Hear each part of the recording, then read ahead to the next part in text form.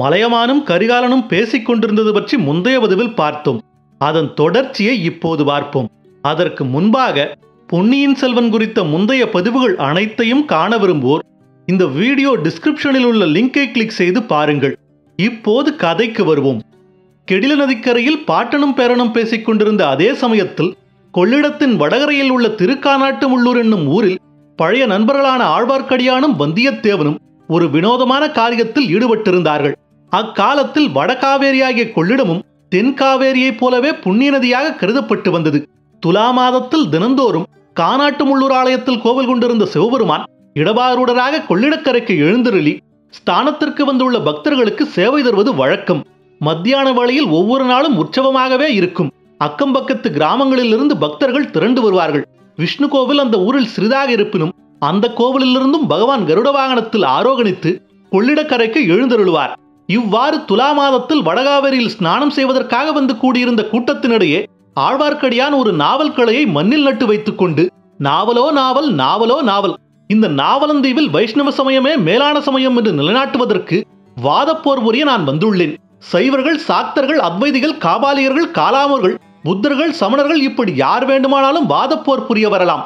அவர்கள் வெற்றி பெற்றால் அவர்களை என் தோள் மீது தூக்கி வைத்துக் கொண்டு ஊரைச் சுற்றி வலம் வருவேன். அவர்கள் தோற்றால் இடுப்பு துணியை தவிர மற்றதையெல்லாம் இங்கே கொடுத்துவிட்டு போக வேண்டும். நாவலோ நாவல் என்று கத்திக் கொண்டிருந்தான். அவனுக்கு முன்னால் ருத்ராட்ச மாலைகள் மகரகண்டிகள் கமண்டலங்கள் குண்டலங்கள் பட்டு பீதாம்பரங்கள் பொற்காசுகள் ஆகியவை குவிந்து கிடந்தன. இவற்றிலிருந்து அவன் வெகு நேரம் வாதமிட்டு பலரை வாதப்போரில் வென்றிருக்க வேண்டும் என்பது தெளிவாயிருந்தது. அவனுக்கு பக்கத்தில் வந்தியத்தேவன் கையில் உருவிய கத்தியுடன் நின்று கொண்டிருந்தான். இப்போது அவனுடைய அறையில் உடுத்திய ஒரு துணியும் கையில் ஒரு கத்தியும் மட்டும்தான் இருந்தன. அவனுடைய தோற்றத்திலிருந்து ஆழ்வார்க்கடியான் மீது பலாத்காரத்தை பிரயோகிக்க பார்ப்பவர்களை அவன் கத்தியை வீசி பயமுறுத்தி அனுப்பியிருக்க வேண்டும் என்று தோன்றியது. அந்த சமயத்தில் கூட்டமாக கோஷித்துக் கொண்டு வந்த சைவர் கூட்டம் ஒன்றை பார்த்து அவன் கூறிய மொழிகளிலிருந்து அது வெளியாயிற்று. எச்சரிக்கை நியாயமாக வாதப்போர் செய்வோர் செய்யலாம். அத்துமீறி இந்த வைஷ்ணவன் மீது யாராவது கையை வைத்தால் இந்த வாளுக்கு இரையாவார்கள் என்று கூறியதுடன் கத்தியையும் ஒரு முறை சுழற்றினான். கோபத்துடன் வந்த சைவர்கள் அதைக் கண்டு சாந்தமடைந்தார்கள். அவர்களில் ஒருவர் ஓ வைஷ்ணவனே ஏதோ நீ இன்றைக்கு வாதத்தில் ஜெயித்து விட்டதாக எண்ணி கர்வம் கொள்ளாதே. திருநாரையூர் போ. அங்கே உன்னை வாதத்தில் வென்று புறமுதுகிட்டு ஓடச் செய்யக்கூடிய நம்பியாண்டார் நம்பி இருக்கிறார் என்றார். உங்கள் திருநாரையூர் நம்பியை திருநாராயணபுரத்து அனந்தப்பட்டரிடம் வந்து வாதமிடச் சொல்லுங்கள். அங்கே நானும் ஒருவேளை இருந்தாலும் இருப்பேன் என்று கூறினான் ஆழ்வார்க்கடியான். பல முறை அவன் நாவலோ நாவல் என்று கூவியும் யாரும் புதிதாக வாதமிட வரவில்லை. எனவே நாவல் கலையை எடுத்துவிட்டு சங்கு சக்கரம் பொறித்த வெற்றி கொடியை ஆழ்வார்க்கடியான் நட்டான். பக்கத்தில் நின்று எல்லாவற்றையும் பார்த்து கொண்டிருந்த வைஷ்ணவர்கள் சிலர் உடனே அருகில் வந்து அவனை தூக்கி தோளில் வைத்துக் கொண்டு நாராயணனே நம் தெய்வம் நாமெல்லாம் துதி செய்வோம் என்று பாடிக்கொண்டு கூத்தாடினார்கள். பிறகு அவர்கள் வீர வைஷ்ணவரே எங்கள் இல்லத்திற்கு வந்து அமுது செய்து அருள வேண்டும் என்று பிரார்த்தித்தார்கள். அங்கனமே ஆகுக என்று ஆழ்வார்க்கடியான் கம்பீரமாக கூறிவிட்டு வந்தியத்தேவனையும் அழைத்துக் கொண்டு சென்றான். இருவரும் புளியோதரை திருக்கண்ணமுது தயிர் சாதம் ஆகியவற்றை வயிறு முட்டும்படி ஒருகை பார்த்தார்கள். ஆழ்வார்க்கடியான் தான் வாதப்போரில் சம்பாதித்த பொருள்களில் அங்கவஸ்திரமாக அணியக்கூடிய பீதாம்பரம் ஒன்றை மட்டும் வந்தியத்தேவரிடம் கொடுத்துவிட்டு மற்றவற்றை அங்கிருந்த வைஷ்ணவர்களிடம் கொடுத்து அவற்றின் பெருமானத்திற்கு பொற்கழஞ்சுகள் பெற்றுக்கொண்டான் வைஷ்ணவ சமயத்தின் மேன்மையை நிலைநாட்டிக் கொண்டு வடக்கே ஹரித்வாரம் வரையில் போக வேண்டியிருப்பதால் தனக்கு பொற்காசுகள் தேவை என்பதாக அவன் தெரிவித்துக் கொண்டான். அங்கிருந்த வைஷ்ணவர்களும் மனமுவந்து பொருள்களின் பெருமானத்திற்கு அதிகமாகவே பொற்காசுகள் கொடுத்தார்கள். அதை பெற்றுக்கொண்டு ஆழ்வார்க்கடியானும் வந்தியத்தேவனும் பிற்பகலில் கடம்பூரை நோக்கி பிரயாணமானார்கள். கொள்ளிடத்தில் அப்போது பெருவெள்ளம் போய்க் கொண்டிருந்தபடியால் அவர்கள் ஏறி வந்த குதிரைகளை கொண்டு வர முடியவில்லை. அவர்கள் நதியை கடந்த ஓடத்தில் ஜனங்கள் அதிகமாக ஏறியிருந்தபடியால் படகு கரையடையும் சமயத்தில் கவிழ்ந்து விட்டது மற்றவர்களைப் போல் வந்தியத்தேவனும் ஆற்று வெள்ளத்தில் விழுந்து நீந்தி கரை சேர வேண்டியதாயிற்று. அச்சமயம் அத்தனை காலமாக எத்தனையோ நெருக்கடியான நிகழ்ச்சிகளிலும் வந்தியத்தேவன் காப்பாற்றி கொண்டு வந்த அவனுடைய அரைக்கச்ச சுருளும் அதில் அவன் பத்திரப்படுத்தி வைத்திருந்த லட்சணைகளும் இளையவராட்டி தந்த ஓலையங்கூட நதி வெள்ளத்தில் போய்விட்டன. அவற்றுடன் இருந்த பொன்னாணயங்களும் போய்விட்டன. புதிய குதிரைகள் வாங்குவதற்கு பணம் சேர்ப்பதற்காகவே மேற்கூறிய யுக்தியை அவர்கள் கையாண்டார்கள். யுக்தி பலித்து கொஞ்சம் பணமும் கிடைத்தது. ஆனால் அந்த கிராமாந்திர பகுதிகளில் குதிரை எங்கும் விலைக்கு கிடைக்காது என்று தெரிந்தது. ஆகையால் கடம்பூர் கிராமத்தில் வாரம் ஒரு நாள் நடைபெறும் சந்தையில் ஒருவேளை குதிரைகள் விற்பனைக்கு வரலாம். இல்லாவிடில் திருப்பாதிரி புலியூர் சென்றுதான் வாங்க வேண்டும். இப்போது கடம்பூருக்கு போவதா வேண்டாமா என்பது பற்றி அந்த நண்பர்களுக்குள் விவாதம் நடந்தது. அதில் உள்ள சாதக பாதகங்களை பற்றி அவர்கள் விவாதித்தார்கள். கடம்பூரில் ஆதித்த கரிகாலரின் வருகையை பற்றி ஏதேனும் செய்தி கிடைத்தாலும் கிடைக்கலாம். காஞ்சியில் இருந்து அவர் புறப்பட்டு விட்டாரா? எந்த வழியாக வருகிறார் என்று ஏதேனும் தகவல் தெரிந்தால் நல்லது அல்லவா? ஆனால் கடம்பூரில் தெரிந்தவர்களின் கண்ணில் படக்கூடாது. கந்தமாறனை சந்திக்க நேர்ந்து விட்டால் ஆபத்தாய் போய்விடும். ஒருவேளை பழுவேட்டரரின் பரிவாரங்கள் இதற்குள் வந்திருந்தால் அதுவும் தொல்லைதான். வைஷ்ணவனே உனக்குத்தான் இரவில் சுவரேறி குதிக்க தெரியுமே? சம்புவரையர் குதிரை லாயத்திலிருந்து இரண்டு குதிரைகளை கொண்டு வந்து விடலாமே என்றான் வந்தியத்தேவன். நான் சுவரேறி குதிப்பேன் ஆனால் குதிரைகளுக்கு சுவரேறி குதிக்க தெரிய வேண்டுமே என்றான் ஆழ்வார்க்கடியான். பழுவூர் பரிவாரங்கள் அங்கே வந்திருந்தால் இரண்டு குதிரைகளை அடித்துக் கொண்டு போகலாம். அவர்கள் முன்னொரு சமயம் கடம்பூரில் என்னுடைய குதிரையை விரட்டியடித்தார்கள் அல்லவா? அதற்கு பழிக்கு பழி வாங்க வேண்டும் என்றான் வந்தியத்தேவன். சில மாதங்களுக்கு முன்னால் கடம்பூரில் அவர்கள் சந்தித்தது பற்றியும் அன்றிரவு நடந்த அபூர்வ சம்பவங்களை பற்றியும் அவர்கள் வழிநடுக்க பேசிக் கொண்டு வந்தார்கள். சூரியன் அஸ்தமிக்கும் சமயத்திற்கு இருவரும் கடம்பூரை அடைந்தார்கள். கடம்பூர் அவர்கள் எதிர்பார்த்தது போலவே அமர்க்களப்பட்டுக் கொண்டுதான் இருந்தது. அரண்மனையும் கோட்டை வாசலும் கொடிகளாலும் தோரணங்களாலும் தொங்கல் மாலைகளாலும் அலங்கரிக்கப்பட்டு விளங்கின. கோட்டை வாசலிலும் சரி மதில் சுவரை சுற்றியும் சரி முன்னை விட காவல் பலமாக இருந்தது. பட்டத்து இளவரசர் ஆதித்த கரிகாலர் வருகிறார் என்றால் கேட்க வேண்டுமா? அதே சமயத்தில் தனாதிகாரி பெரிய பழுவேட்டரரும் ராணியுடன் வரப்போகிறார். இரண்டு பேருடைய பரிவாரங்களும் வருவார்கள். சில நாளைக்கு ஊர் தடபுடல் பட்டுக் கொண்டுதான் இருக்கும். இதையெல்லாம் பற்றி கடம்பூர் கடைத்தெருவில் ஜனங்கள் பேசிக் கொண்டிருந்ததை இரு நண்பர்களும் கேட்டார்கள். ஜனங்கள் பேச்சிலிருந்து இரு சாராரும் இன்னும் வந்து சேரவில்லை என்று தெரிந்தது. சம்பூரர் மகன் கந்தமாறன் ஆதித்த கரிகாலரை அழைத்து வர காஞ்சிக்கே புறப்பட்டு போயிருக்கிறான் என்றும் தெரிந்தது. இந்த பரபரப்பான பேச்சுகளுக்கு இடையில் சிலர் கடல் கொண்டு விட்ட இளவரசர் அருள்மொழிவர்மரை பற்றியும் மெல்லிய குரலில் பேசினார்கள். அவ்வளவு பெரிய துக்க சம்பவம் நடந்திருக்கும் போது இங்கே விருந்துகளுக்கும் களியாட்டங்களுக்கும் ஏற்பாடு நடந்து வருவது பலருக்கும் பிடிக்கவில்லை என்பது ஜாடைமாடையாக அவர்கள் பேசிக் கொண்டதிலிருந்து தெரிந்தது. ஆழ்வார்க்கடியானும் வந்தியத்தேவனும் இந்த பேச்சுக்களையெல்லாம் காது கொடுத்து கேளாதவர்கள் போல் கேட்டுக்கொண்டு ஊரை தாண்டி போனார்கள். ஊருக்குள் எங்கேயும் இருபதங்கு அவர்கள் விரும்பவில்லை. ஊருக்கு அப்பால் சமீபத்தில் எங்கேயாவது பாழடைந்த மண்டபம் அல்லது சத்திர சாவடி இல்லாமலா போகும். அப்படி இல்லாவிட்டால் இரவு வீரநாராயணபுரத்திற்கு போய் தங்கிவிடுவது நல்லது. அங்கே உள்ள பெரிய பெருமாள் கோவிலின் நூற்றுங்கால் மண்டபத்தில் நிம்மதியாக படுத்து உறங்கலாம். முதல் நாள் இரவு நிகழ்ச்சிகளுக்கு பிறகு ஓர் இரவு நல்ல தூக்கம் அவர்களுக்கு அவசியமாயிருந்தது. கடம்பூரை தாண்டி சாலையோடு சிறிது தூரம் சென்றதும் அடர்த்தியான மூங்கில் காடு ஒன்றும் அதற்குள் அய்யனார் கோவில் ஒன்றும் தெரிந்தது. வைஷ்ணவரே இனிமேல் என்னால் நடக்க முடியாது. இரவு இந்த கோவிலில் படுத்திருக்கலாம். யார் கண்ணிலும் படாமல் இருப்பதற்கு இது நல்ல இடம் என்றான் வந்தியத்தேவன். அப்பனே நீ சொல்வது தவறு. இம்மாதிரி இடங்களுக்கு நம்மை போல் இன்னும் யாராவது வந்து சேர மாட்டார்கள் என்பது என்ன நிச்சயம் என்றான் ஆழ்வார்க்கடியான். அப்படி வருகிறவர்கள் குதிரைகளுடன் வந்தால் ரொம்ப நல்லது என்றான் வந்தியத்தேவன். இந்த மூங்கில் காட்டுக்குள் எந்த குதிரையும் நுழைய முடியாது. மனிதர்கள் நுழைந்து செல்வதே கடினமான காரியமாயிற்றே என்றான் ஆழ்வார்க்கடியான். எங்கேயாவது ஒற்றையடி பாதை ஒன்று இல்லாமற் போகாது. கோவில் பூசாரி வரக்கூடிய வழியேனும் இருந்துதானே ஆக வேண்டும் என்றான் வந்தியத்தேவன். பிறகு இருவரும் அடர்த்தியாக மண்டிக்கிடந்த மூங்கில் புதர்களை சுற்றி சுற்றி வந்து கடைசியாக குறுகலான ஒற்றையடி பாதை ஒன்றை கண்டுபிடித்தார்கள். அதன் வழியாக உடம்பில் முட்கள் கீறாமல் நடந்து போவதே மிகவும் கடினமாக இருந்தது. இவ்விதம் சிறிது தூரம் சென்ற பிறகு கொஞ்சம் இடைவெளி காணப்பட்டது. அதில் சிறிய ஐயனார் கோவில் இருந்தது.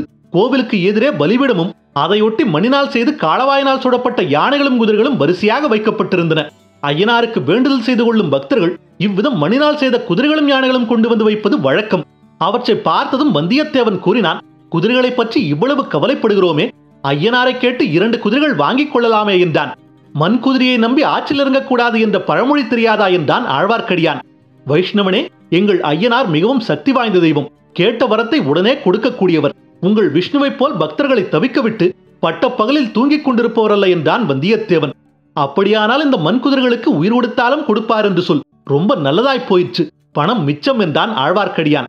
உண்மையான பக்தி இருந்தால் மண் குதிரைகளும் உயிர் பெறும். பார்க்க போனால் நம்முடைய உடம்புகள் மட்டும் என்ன? பிரம்மதேவன் மணினால் செய்து உயிர் கொடுத்ததுதானே என்றான் வந்தியத்தேவன். நன்கு சொன்னாய் தம்பி. இந்த உடம்பு மணினால் செய்த உடம்பு என்பதை மறந்து விடுகிறோம். அதை அடிக்கடி ஞாபகப்படுத்திக் கொள்வதற்கு திருமண்ணை குழைத்து நெற்றியிலும் உடம்பிலும் இட்டுக் கொள்ளும்படி வைஷ்ணவாச்சாரிய புருஷர்கள் கட்டளையிட்டிருக்கிறார்கள் என்றான் ஆழ்வார்க்கடியான். அச்சமயம் வந்தியத்தேவன் உஷ் என்று சொல்லி ஆழ்வார்க்கடியானுடைய கையை பிடித்துக் கொண்டு இன்னொரு கையினால் எதிரே சுட்டிக் காட்டினான்.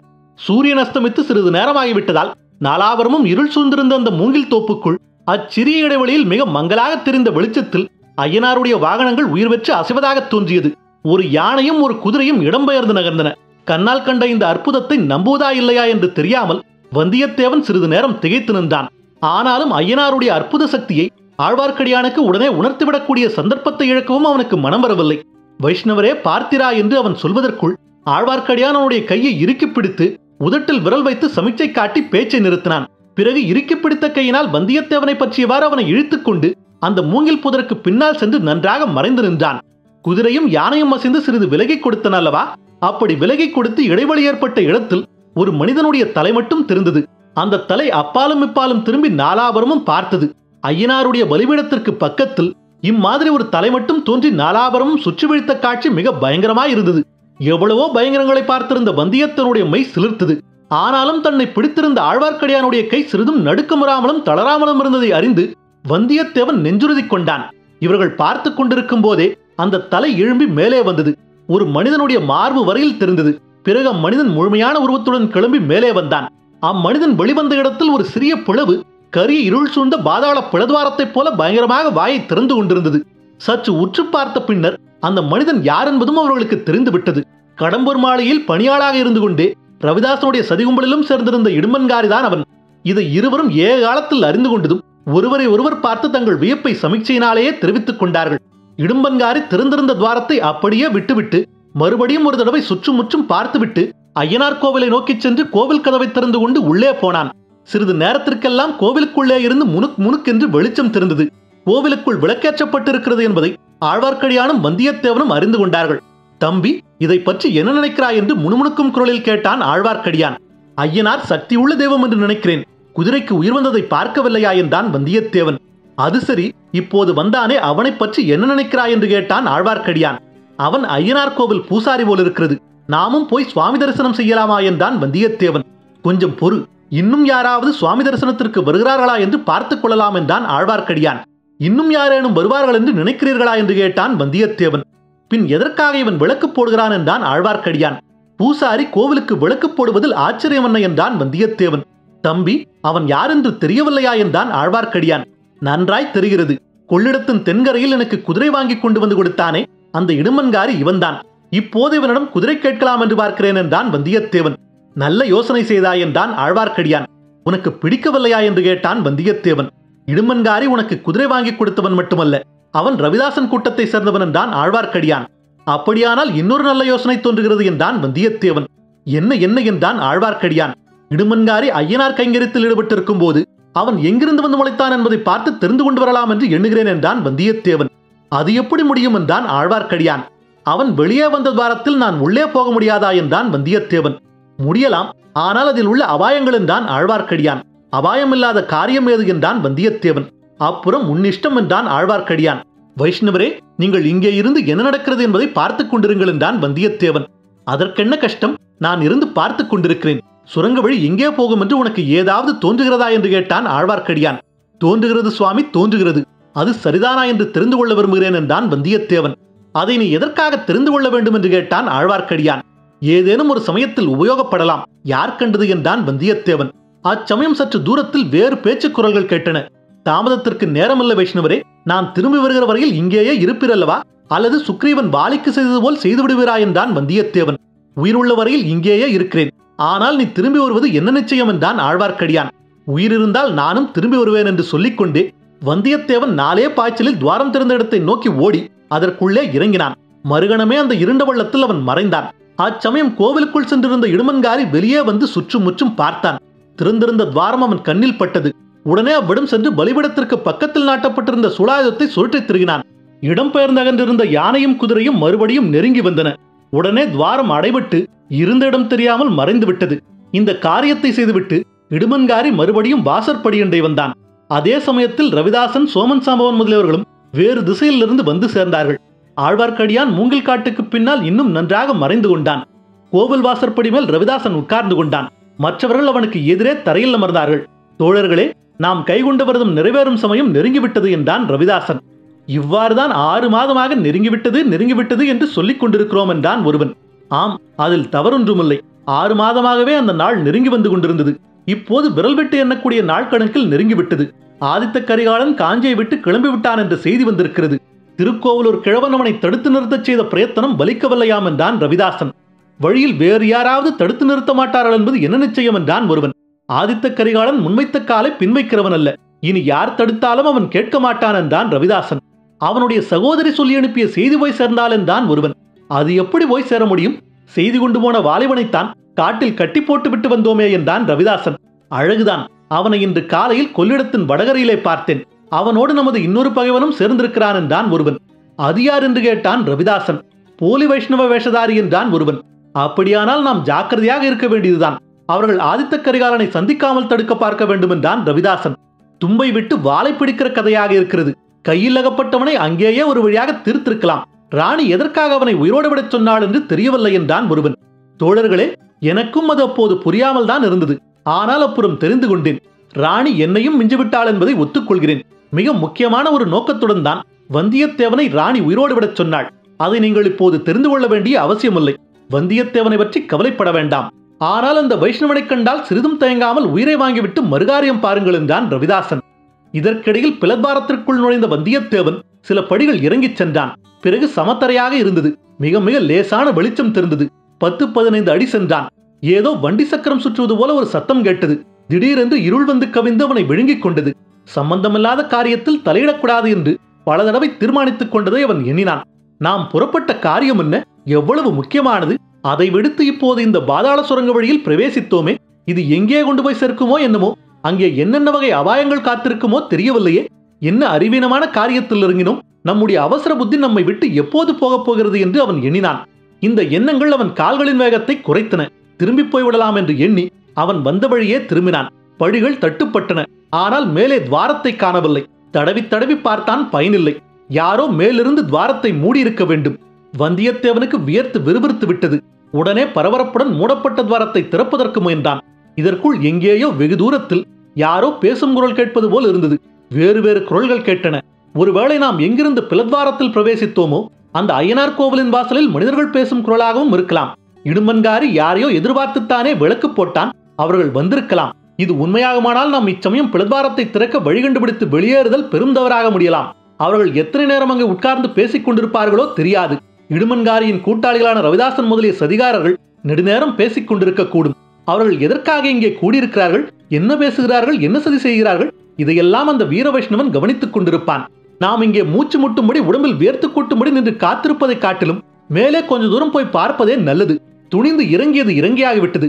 இந்த சுரங்க வழி எங்கேதான் போகிறது என்பதை கண்டுபிடிப்பது மேலல்லவா என்று முடிவு கட்டிக்கொண்டு வந்தியத்தேவன் பின்வைத்த காலை மறுபடியும் முன்வைத்து நடந்து செல்லத் தொடங்கினான்.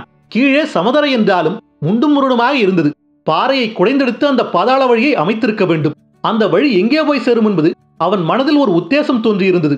அநேகமாக அது கடம்பூர் சம்பூரையர் மாளிகைக்குள் போய் முடிய வேண்டும். அந்த மாளிகையில் எங்கே போய் முடிகிறதோ என்னமோ ஒருவேளை பொக்கிஷ அறையில் முடியலாம் அல்லது அரண்மனை பெண்டிர்கள் வாசம் செய்யும் அந்தபுரத்தில் முடியலாம். அரசர்களும் சிற்றரசர்களும் வசிக்கும் அரண்மனைகளிலிருந்து அத்தகைய சுரங்கப்பாதைகள் இருக்கும் என்பது அவன் அறிந்த விஷயம்தான். ஏதாவது பேரபாயம் நேரும் காலங்களில் அரண்மனையிலிருந்து ஓடி தப்பிக்க வேண்டிய சந்தர்ப்பம் நேர்ந்தால் அத்தகைய பாதைகளை உபயோகிப்பார்கள். அரண்மனை பெண்டிரை அப்புறப்படுத்துவது அவசியமாதலால் அத்தகைய பாதைகள் அந்தபுரத்தில் சாதாரணமாக முடிவதுண்டு. முக்கியமான பொக்கிஷங்களை எடுத்துக் கொண்டு போவதும் அவசியமாதலால் பொக்கிஷ நிலவரை மூலமாகவும் அந்த வழிகள் போவது வழக்கம். ஆனால் இந்த வழி எங்கே போய் முடிகிறதோ என்னமோ இடும்பன்காரி இந்த வழியாக வந்து வெளியேறி இருப்பதால் அநேகமாக இது பொக்கிஷ அறையில்தான் போய் முடியும். பெரிய பழுவேட்டரரின் பொக்கிஷங்களை அவர் அறியாமல் இளையராணி மூலம் இச்சதிகாரர்கள் சூறையாடியது போல் சம்பூரரின் பொக்கிஷத்தையும் கொள்ளையிட திட்டம் போட்டிருக்கிறார்கள் போலும் ஆதித்த கரிகாலரும் மற்றவர்களும் விருந்தாளிகளாக வரவிருக்கும் இச்சந்தர்ப்பத்தில் இவர்கள் இம்மாதிரி காரியத்தில் பிரவேசிப்பதன் காரணம் என்ன? ஒருவேளை வேறு நோக்கம் ஏதேனும் இருக்க முடியுமா? திருப்புறமயம் பள்ளிப்படையாட்டில் பார்த்ததும் கேட்டதும் வந்தியத்தேவனுக்கு நினைவு வந்தன. பழுவூர் ராணியிடமிருந்த மீன் அடையாளம் பொறித்த நீண்ட வாழ் அவன் மணக்கன் முன்னே வந்து ஒரு கணம் ஜொலித்தது. உடனே வந்தியத்தேவனுக்கு உடம்பு சிலிர்த்தது. பொக்கிஷத்தை கொள்ளையிடுவதைக் காட்டிலும் இன்னும் பயங்கரமான நோக்கம் இவர்கள் வைத்திருந்தாலும் வைத்திருக்கலாம். இந்த வழி எங்கே போகிறது என்பதை நிச்சயமாக தெரிந்து கொண்டால் அவர்களுடைய கொடிய நோக்கம் நிறைவேறாமல் தடுப்பதற்கு பயன்பட்டாலும் படலாம் என்று எண்ணியவாறு அவன் நடந்தான். சுரங்க வழியில் நடக்க ஆரம்பித்து சில நிமிட நேரம்தான் உண்மையில் ஆயிற்று. ஆனாலும் இருண்ட வழியாக இருந்தபடியால் நெடுநேரமாக தோன்றியது. காற்றுப்போக்கு இல்லாதபடியால் மூச்சு திணறியது. அதோடு வியர்த்து கொட்டியது. ஐயனார் கோவிலிலிருந்து கடம்பூர் மாளிகை எவ்வளவு தூரம் என்று எண்ணியபோது அவனுக்கு முதலில் மலைப்பாயிருந்தது. ஆனால் மறுபடியும் யோசித்தான். மாளிகையின் முன்வாசலிலிருந்து வளைந்தும் சுற்றியும் சென்ற தெருக்களின் வழியாகவும் பின்னர் காட்டுப்பாதைகளின் வழியாகவும் வந்தபடியால் அவ்வளவு தூரமாக தெரிந்தது. அரண்மனையின் பின்பகுதியிலிருந்து நேர் வழியாக வந்தால் ஐயனார் கோவில் அவ்வளவு தூரத்தில் இராது வில்லிலிருந்து அம்பு விட்டால் போய்விடக்கூடிய தூரத்தில் தான் இருக்கும். அது உண்மையானால் இதற்குள் அரண்மனை வெளிமதிலை நாம் நெருங்கி வந்திருக்க வேண்டும். ஆம் அப்படித்தான். மேலே எங்கிருந்தோ திடீரென்று வந்தியத்தேவன் மேல் குளிர்ந்த காற்று குப்பென்று அடித்தது. வியர்த்து விறுவிறுத்து மூர்ச்சியடையும் நிலைக்கு வந்திருந்த வந்தியத்தேவனுக்கு அந்த காற்று புத்துயிர் தந்தது. அவன் அன்னார்ந்து பார்த்தான். உயரத்தில் வெகு தூரத்தில் சிறிது வெளிச்சம் தெரிந்தது. பேச்சு குரல்களும் கேட்டன. மதில் சுவரின் மேல் ஆங்காங்கு வீரர்கள் இருந்து காவல் புரிவதற்காக அமைத்த கொத்தளங்களில் ஒன்றாக அது இருக்க வேண்டும். அதன் வழியாக சுரங்கப்பாதையில் காற்று புகுவதற்கு ஏற்பாடு செய்திருக்க வேண்டும். ஆனால் காற்றுத்தான் புகலாமே தவிர மனிதர்கள் கீழே இறங்குவதற்கோ மேலே ஏறுவதற்கோ அங்கே வசதி ஒன்றுமில்லை என்பதை வந்தியத்தேவன் கண்டான். கடம்பூர் அரண்மனைக்குள் புகுந்தாகிவிட்டது என்ற எண்ணமும் மேலிருந்து வந்து அவன் மீது அடித்த குளிர்ந்த காற்றும் அவனுக்கு புத்துயிரை அளித்து புதிய உற்சாகத்தை உண்டு பண்ணின. சுரங்கப்பாதை போய் சேரும் இடம் இனி சமீபத்திலேதான் இருக்கும். அது பொக்கிஷ நிலவரையாயிருக்குமா? பெரிய பழுவேட்டரரை போல் சம்பூரரும் ஏராளமான முத்தும் பவளமும் ரத்தினமும் வைரமும் தங்க நாணயங்களும் சேர்த்து வைத்திருப்பாரா? அங்கே பார்த்தது போல இங்கேயும் அந்த ஐஸ்வர்ய கோவில்களுக்கு இடையில் செத்த மனிதனின் எலும்புக்கூடு கிடக்குமா? இம்மாதிரி எண்ணிக்கொண்டே போன வந்தியத்தேவன் காலில் ஏதோ தட்டுப்பட்டு அவன் திடுக்கிட்டான். அப்புறம் அது படிக்கட்டு என்று தெரிந்து தைரியம் அடைந்தான் ஆம் அந்த படிக்கட்டில் ஏறியானதும் பொக்கேஷ் நிலவரையை காணப்போவது நிச்சயம். இல்லாவிட்டால் பெண்கள் வசிக்கும் அந்தபுரமாயிருக்கலாம் அப்படியானால் நம் பாடு ஆபத்துதான். ஆ கந்தமாறனின் தங்கை மணிமேகலை அந்த கருநிறத்து அழகி இங்கே இருப்பாள். ஒரு சமயம் அவளை மணந்து கொள்ளும் யோசனை தனக்கு இருந்ததை நினைத்தபோது வந்தியத்தேவன் புன்னகை பூத்தான். அந்த புன்னகையை வார்த்து மகிழ அங்கு யாரும் இல்லைதான். ஒருவேளை அந்தபுரத்து மாதர் அலங்கோலமாக இருக்கும் சமயத்தில் திடீரென்று அவர்களிடையே நாம் தோன்றினால் என்ன ஆவது இதை நினைக்க அவனுக்கு சிரிப்பே வந்துவிட்டது. சிரித்த மறுகணமே அவனுடைய உடம்பின் ரத்தம் உறைந்து இதய துடிப்பு நின்று கண்விழிகள் பிதுங்கும்படியான பயங்கர தோற்றத்தை அவன் கண்டான். படிக்கட்டில் ஏறினான் அல்லவா? மேலே படியில் கால் வைத்ததும் இனி ஏறுவதற்கு படியில்லை என்று உணர்ந்து நாம் எங்கே வந்திருக்கிறோம் என்பதை அறிந்து உள்ள அவன் சுற்றும் முற்றும் பார்த்தான். அங்கு நூறு நூறு கொள்ளிக்கண்கள் அவனை உற்று பார்த்தன. அந்த கண்களெல்லாம் பயங்கரமான காட்டு மிருகங்களின் கண்கள். முதலில் ஏற்பட்ட பீதியில் அவன் வந்த வழியே திரும்பிவிட எத்தனித்தான். ஆனால் பின்னால் வழியை காணும். மேற்படியில் அவன் கால் வைத்ததும் பின்னால் ஏதோ சத்தம் கேட்டது. சுரங்க வழி தானாக மூடிக்கொண்டு விட்டது போலும். ஆனால் இது என்ன கோர பயங்கரம்? இவ்வளவு காட்டு மிருகங்களும் தனக்காக இங்கே காத்திருக்கின்றனவே. வேங்கை புலிகள் சிறுத்தைகள் சிங்கங்கள் கரடிகள் காட்டெருமைகள் ஓநாய்கள் நரிகள் காண்டாமிருகங்கள் அதோ இரண்டு யானைகள் எல்லாம் நம் மீது பாய்வதற்கல்லவா ஆயத்தமாக இருக்கின்றன. ஏன் இன்னும் பாயவில்லை? அதோ அவ்வளவு பிரம்மாண்டமான பருந்து. ஐயோ அந்த ராட்சத ஆந்தை ஆள் விழுங்கும் வவ்வால் நாம் காண்பது கனவா அல்லது இது என்ன?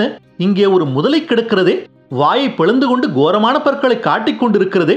முதலை தண்ணீரில் அல்லவா இருக்கும்? இது வெறுந்தரை அல்லவா? காட்டு மிருகங்களுக்கு மத்தியில் இந்த முதலை எப்படி வந்தது?